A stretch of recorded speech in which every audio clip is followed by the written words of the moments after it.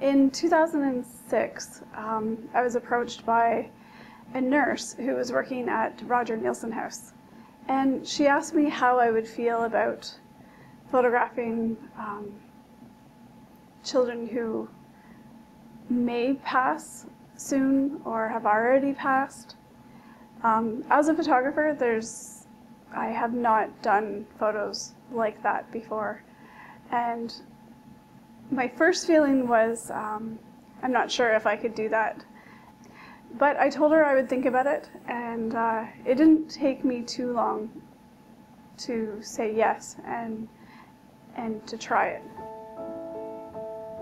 I feel it's important, and I feel that um, if more people knew that this service was offered, they they would request photos of their child before they passed or after they passed um, in a way to keep the baby's memory alive and to acknowledge that there was a life and that it matters. And um, even though the life was short, um, it was an important one and it, and it was meaningful.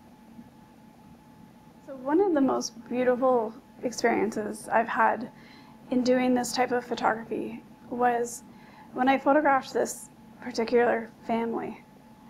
Um, they had, this was their second baby that they were losing. And when I came in to see mom, she was sitting with her baby in a rocking chair. And she was rocking back and forth, and she was singing this song that she made up. And it was the most beautiful thing to ever witness. Everyone in the world is going to die. We're all going to die. Um, but for this little baby, about to pass away, he must be so happy in that exact moment. He's so loved, and he's sitting with his mom, and his mom is singing to him, and and that's how he passes. He just gently, sweetly, in his mom's arms, passes away. And I know that's sad, but it is so beautiful at the same time. How many of us are going to be in our mom's arms when we pass?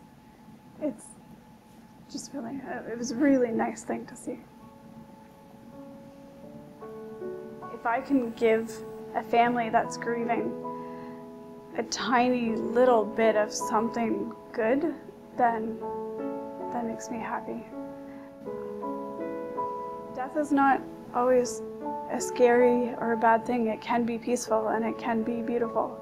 And it's the focus doesn't have to be on the death. It, it, it should be more on what you did when you were alive. And, and even if you're a little baby and you haven't lived for very long, the fact that you've already made a difference in your parents' lives, that they already love you, that they're already, you're already there, you already mean so much, that's, that's a huge accomplishment.